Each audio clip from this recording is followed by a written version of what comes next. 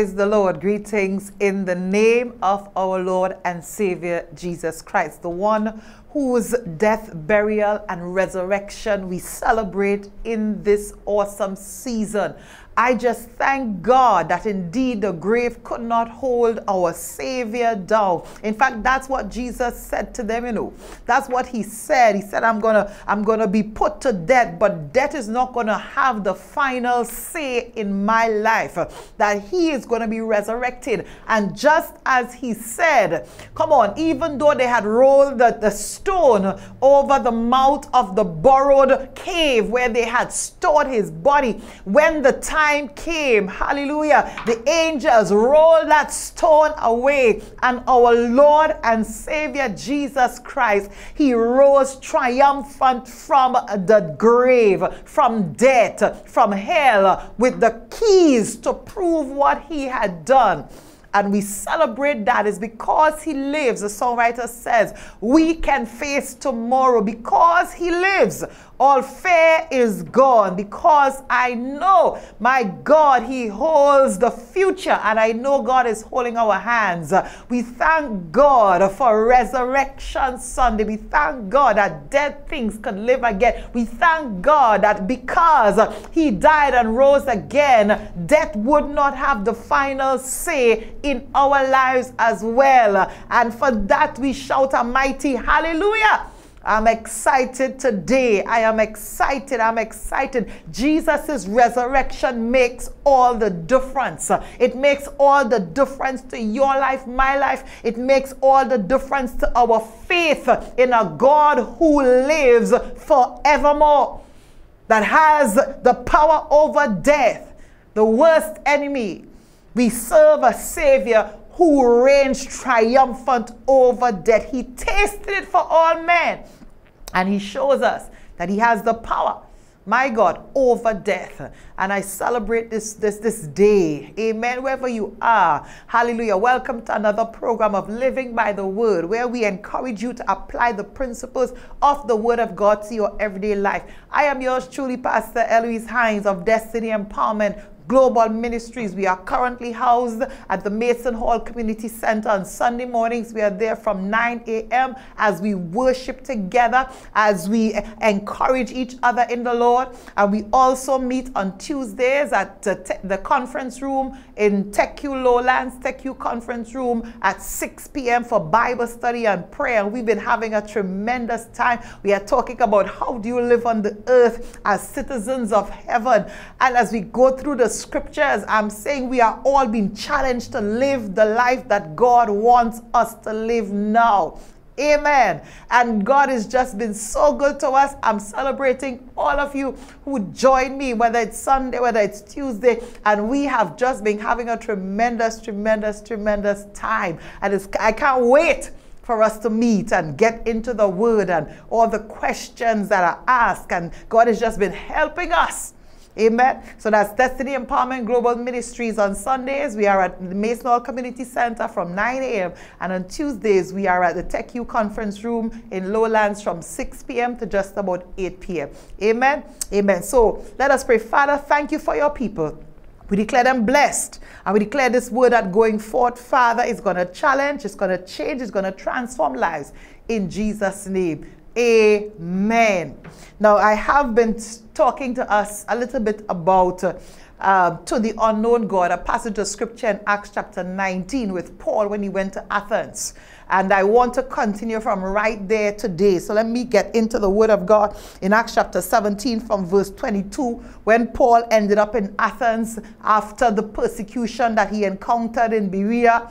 Yes, from the Jews that were in Thessalonica. He is there in Athens waiting on um, Timothy and Silas. And this is what he sees. Verse 22 of Acts chapter 17 says, Then Paul stood in the midst of Mars Hill and said, You men of Athens, I perceive that in all things you are too superstitious.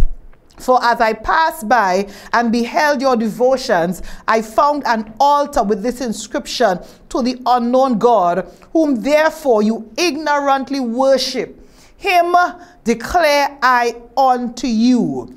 God that made the world and all things therein, seeing that he is Lord of heaven and earth, he dwelleth not in temples made with hands, neither is worshipped with men's hands as though he needed anything, seeing he giveth to all life and breath and all things, and had made of one blood all nations of men for to dwell on the face of the earth, and had determined the times before appointed and the bounds of their habitation, that they should seek the Lord, if haply they might feel after him and find him, though he be not far from every one of us. Verse 28 says, For in this God we live Hallelujah. Or we exist in this God. We move. We have our very being as certain also as your poets have said, for we are also his offspring. For as much then as we are the offspring of God, he says we ought not to think that the Godhead is like unto gold or silver or stone graven by art and man's device. And the times of this ignorance God winked at, but now commanded all men everywhere to repent because he had appointed a day in the which he will judge the world in righteousness by that man whom he had ordained, whereof he had given assurance unto all men in that he had raised him from the dead. He's speaking about that day when judgment will take place of the earth by Jesus Christ. Hallelujah. Who is our risen Savior. Amen. I am excited today. I want to talk to us again about the unknown God. This thing that Paul saw in Athens, that, uh, that his spirit began to be stirred when he was waiting on Silas and Timothy, and he saw all these objects that they were worshiping, all their objects of worship, and he saw an altar to the unknown God. And I'm saying to us, so many of us today are still worshiping uh, the unknown God. Because, well, let me say this to us. There are many of us in our heads. Let me say this. Hallelujah. The God in our head is not the God in Scripture. There are many of us who would conduct ourselves in a certain way and say, well, God is okay with that. We live in a society now where people just live any old crazy way and they tell you don't judge. You must just tolerate everything. Come on, God is love. God ain't, ain't mad at you for that. I'm saying today that God is the same yesterday, today, and forevermore. And if God says it is sin and He's going to judge the world for it, then that is what we believe. That is what we preach. It doesn't matter what laws are being passed, it doesn't matter whether high ranking officials, whether judges, whether lawyers, whether presidents, whether persons of status says otherwise. My God. If God says it is sin, if the God of the Bible means it is sin, you cannot worship what you do not know. And I'm saying to you, give us the opportunity to declare who this God is. I'm saying to you, just as we read today, there is a day of judgment that is coming. My God, the Bible tells us that the books are going to be open and God is going to hold us accountable for everything that we've done whilst we are here in the earth. There is such a day coming, and God is wanting us and warning us and saying to us now now. There's some stuff we've been doing uh, uh, in our ignorance. God may have winked at it. He didn't approve it. But now, there is so much information for us to this God that He's calling us to repent. Repent. Repent. Turn from your wicked ways. Turn from those activities. Turn from those lifestyles that you know is against the very will of God for your life. Turn from the lies of the enemy. Turn from the way of damnation. Turn from the pit of hell and run to Almighty God who has come that you can have life and have it to the full. I'm saying to you this the instructions that God have given you, it is for your own good. It's because one day He's going to come and He's going to judge this earth. He's going to judge what you've done, and there is no lawmaker that's going to stand on your side when the judge of all the earth gets ready to pound his gavel. My God. Maketanama okoto. Let's not get carried away with what's happening in the world. Many of us are worshiping an unknown God. If we think that God has changed his mind about sin, then we are worshiping an unknown God. We don't yet know God. I want you to look at God's track record, how he dealt, eh, even with Adam. God told them, Do not eat of the fruit of this tree, because the day that you eat thereof, you will die. They thought that they knew God. Come on. And Adam went and ate the fruit that was given to him by his wife Eve. And God says, Hey, what's happening? I warned you. I spoke to you about this. If you do this, that's going to be the consequence and what happened. The Bible said because of one man, sin entered the world and death have passed on all men because of one man's disobedience to the word of God. God is serious about what he says and we have to give an account one day for it. We are not going to escape. And those of us who know to do right and don't do it, uh, we're going to be beaten with many stripes. Those of us who are compromising and believe that God understands because of his mercies, because of his goodness, there is a day of reckoning that's coming. There's a day that's that's coming. Come on, there is a day coming. If you just study the God of the Bible, you realize God is love. His mercies are new every morning. Great is His faithfulness, but He is a God that must punish sin. And let me say this to you sin is not what you determine. Come on. Sin is what God's word says it is, and we must obey all of it or none of it. It is sin. Amen. So we worship an unknown God when we put God on the same level as other objects of worship. That's what they were doing. They had these altars, they had these structures, they had all these pagan things going on in Athens. And they wanted to put God on the same plane. Just build an altar so no other God is left out. Paul says, I want to declare to you this God. And I want to also today declare to you this God. Ah, come on. Many of us will say, Pastor, I am not in idolatry. But are you sure? Let me let me find what idolatry is. It is worship of idols or any created object or image it is extreme admiration, love, and reverence for something or someone. Come on. Anything that takes the place of our adoration of God is an idol. It could be sports. Come on. There are some people when sports going on, don't talk to them. You cannot see them in the house of the Lord because it's sports.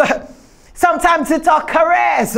Sometimes it's family. Come on, Pastor, know that on such and such a day, me and my family has just this to do and that to do, and you, you're not availing yourself to serve in the things of God. Sometimes family can become an idol. The material things we're running after can become an idol. Our very education can become an idol. And, very, and people that we adore Come on, that you can't say nothing about them. Hey, there are some persons uh, you could bar talk the pastor all you want, but you see such and such high profile person, if you dare say something about that person, they will eat you up. We are talking about idolatry. Come on. We are talking about uh, something that God hates. In fact, when Paul lists the works of the flesh in Galatians chapter 5 from verse 19 to 21, he says, One of the works of the flesh is idolatry.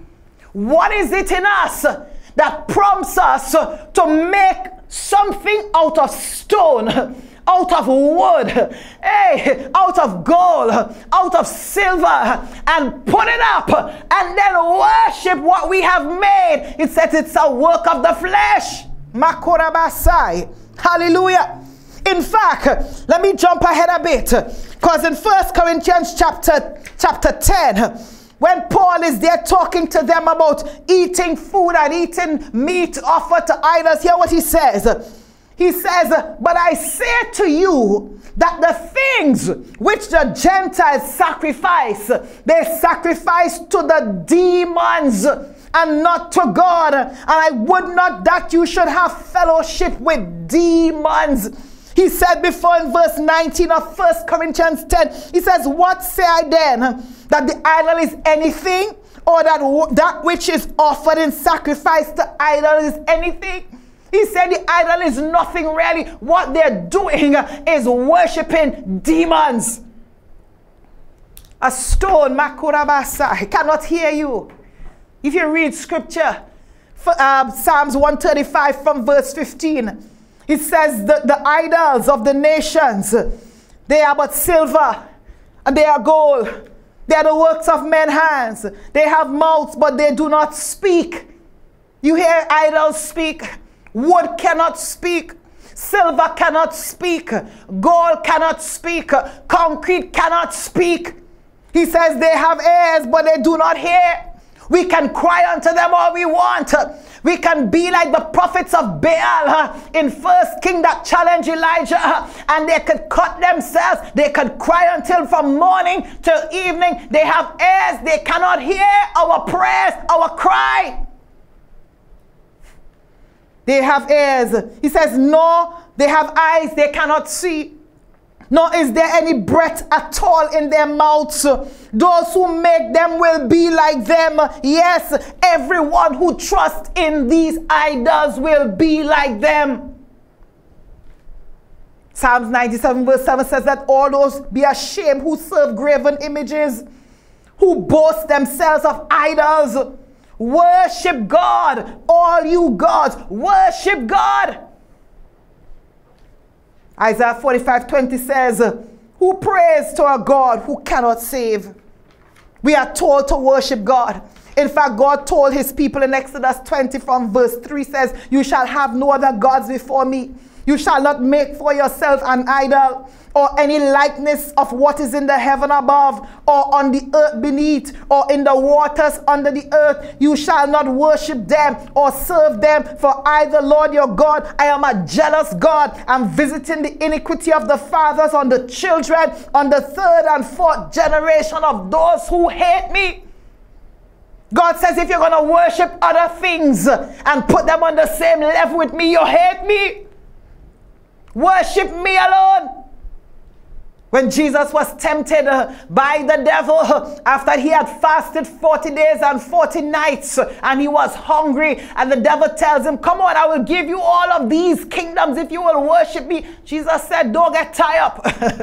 Hallelujah. He says, You must worship God and him only shall you serve. There's no other person deserving of our worship but God Almighty. When Peter went in Cornelius' house and about Acts chapter 10 thereabout, and Cornelius wanted to bow down and worship, Peter says, Don't do that. I'm just a man. I want to warn us, hallelujah. I want to warn us by the Spirit of God, hallelujah. Men, come out of the way and let God get his worship. Pastors and leaders like myself, It's good that we could serve the Lord and we could be mediators between God and his people. But let us not take the worship that is due to God and God alone. I want to encourage people of the living God. Love us, pray for us, but worship belongs to God Almighty. Worship does not belong to man. Your worship does not belong to objects. Your worship does not belong to angels. Revelation chapter 22 from about verse 8 and 9. When John was so moved with all the things that the angels showed him, John wanted to worship him. The angel said, Don't do that. He says, Listen to me. Let me read it for you. Let me see if I make, let me get it for you. Hallelujah. Hallelujah. Because the time goes so quickly. Hallelujah. Before we get going. Hallelujah. We want to, we, we, the time goes so quickly. Come on. It goes so quickly. Verse 8 I, John, saw these things, Revelation 22, and heard them. And when I heard and seen, I fell down to worship. I fell down to worship before the feet of the angel which showed me all these things. John was so amazed. Then said he unto me, See thou do it not. For I am your fellow servant, and of thy brethren the prophets, and of them which keep the sayings of this book. He says, Worship God. Worship God. And we could get into a long discussion about whether we should worship Jesus. But if you read your Bible, Hebrews chapter 1, verse 6, it tells them clearly. And again, he bringeth the firstborn into the world, he saith, and let all the angels of God worship him. Matthew chapter 2, when Jesus was born, uh, come on, in Bethlehem of Judea, the Bible says the wise men uh, looked for him to worship him. Uh, and when they found him, they worshiped him and presented him gifts. When he was resurrected from the dead, in Matthew chapter 28, his disciples found him and they worshiped him because they realize uh, that he is God, just as John 1 declared that in the beginning of uh, God, that he was the Word, the Word was with God, the Word was God, the same was in the beginning with God, the same was God, deserving of our worship. Why should we worship God? Look at what Paul says to them in Athens about this God. He says, I'm going to present this God to you because you don't know him. Paul did not know him either. And Paul was zealous, persecuting Christians. But then when Paul got a revelation of who this God that he said he thought he was serving really is, Paul says, first of all, I want you to know in verse 24, God that made the world and all things therein, seeing that he is Lord of heaven and earth, he dwelleth not in temples made with hands. He says three things about God. He is the creator of heaven and earth. Come on. Those who figure they are learned. Yes, I have my degree. Yes, I, I, am pursuing all kind of post-secondary training. Those who have come to the point to believe that they know. I mean, these people he are talking to are learned people. Come on. I would, they're philosophers. So they have a lot of wisdom. And yet, in the midst of all their wisdom, they do not know God. And the, the location that they are is a location that is given into idolatry. It shows the folly of man's wisdom. That's why Paul writing in 1 Corinthians chapter 2 he says that the, the wisdom of this world is foolishness with God. You have all this learning, and yet you have altars that you worship stone and silver and wood. And you think that's wisdom?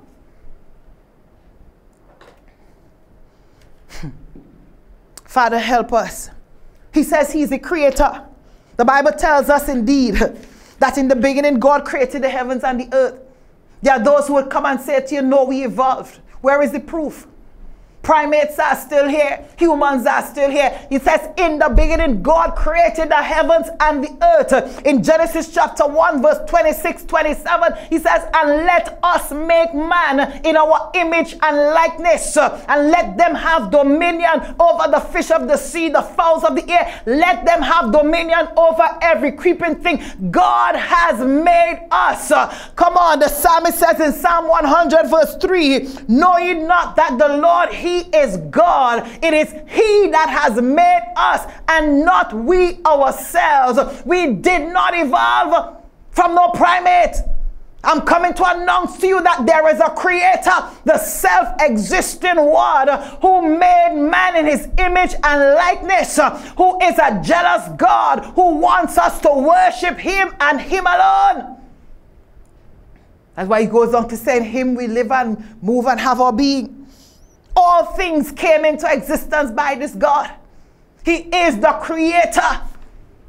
That, word means that He is the only one who can make something out of nothing. And the Bible tells us in Genesis that God spoke and the world came into existence. God spoke and created. And the Bible is completely telling us that. The God you serve has made you. That's why Paul says that we are his offspring. Look at your beautiful self. Look at what you are able to do. Look at how the human mind can process information. Look at how we operate with emotions and feelings. And we, we mad when things don't go right. And we have all of this. You are not stone. You are not wood. Come on. You are not metal. You are not gold. Why would you think that, that your God is such? Look at your fine self. You must realize that somebody has taken his time to make you. David says, I am fearfully and wonderfully made. Marvelous God are your works. And my soul knows right well. The Bible is riddled with scriptures that tell us. Job 33 4, Job says, The Spirit of God has made me and the breath of the Almighty gives me life. Isaiah 44 24 says, Thus says the Lord, uh, your Redeemer and the one who formed you from the womb. I, the Lord, am the maker of all things, stretching out the heavens by myself and spreading out the earth all alone. Nehemiah 9 and 6 says, You alone are the Lord. You have made the heavens, the heaven of heavens with all their hosts, the earth and all that is on it, the seas and all that is in them. You give life to all of them, and the heavenly hosts bow down before you. Revelations 4 and 11 says, Worthy are you, Lord, and our God. Why is he worthy? To receive glory and honor and power. For you created all things. And because of your will, they existed and they were created. Father, we bless you in this place. Hallelujah. God, we honor you in this place as a, oh Lord, as we sense your strong presence in this place. We magnify your name, King of kings, Lord of lords, Ancient of days. Make yourself known to your people, Father God. Make yourself known to your people, mighty God. Make yourself known to those who don't know you, God, that they too can have this revelation of who you are. Father, we bless you. God, I just want to use this time to adore you, to extol you, to honor you, Father, who have created all all things and give us an opportunity to repent, to change our minds, to change our minds about worshiping of idols and worshiping of men and worshiping of our careers and worshiping of our houses and worshiping of our cars and worshiping our relationship and putting up other things in front of God. Lord, in the name of Jesus, even on behalf of this nation, we repent, Lord, of Trinidad and Tobago, where we have not exalted the King of Kings and Lord of Lords, and still asking you to bless this nation. Father, have mercy upon us as a people. Have mercy upon Trinidad and Tobago, God. Have mercy upon us in our households, God, where the name of Jesus is not exalted. Father, have mercy upon us. Have mercy upon us, God. We repent and we turn and we put you first. We put you back in the place of honor. We put you back, God, first in our lives. We put you back as the God who alone is to be worshipped. In Jesus' name. This is all the time we have for living by the word. I want to thank you for staying tuned and encourage you to learn the word, love the word, to live the word. Till next time, stay strong. God bless you. Bye bye.